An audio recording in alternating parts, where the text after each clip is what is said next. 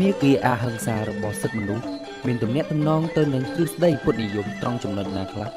ហើយចំណុចនីមួយៗមានអត្ថន័យដូចម្ដេចកមាគ៌ាអហិង្សារបស់សិទ្ធិមនុស្សគឺជាមធ្យោបាយមួយដែលធ្វើឡើងមិនប្រើការគំរាមកំហែងខទ្រឹស្ដីអហិង្សាតាមបែបពុទ្ធសាសនា មាន4ចំណុចគឺ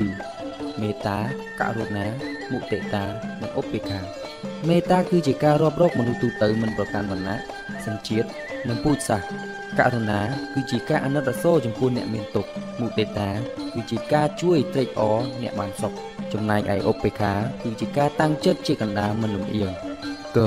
តាមមាគ៌ាអហិង្សារបស់សិទ្ធិមនុស្សមានគោលបំណងដើម្បីស្វែងរកសន្តិភាពសុភមង្គលជូនមនុស្សជាតិដូច្នេះទ្រឹស្ដីអហិង្សារបស់ពុទ្ធសាសនាក៏មានគោលបំណងដូចនេះដែរ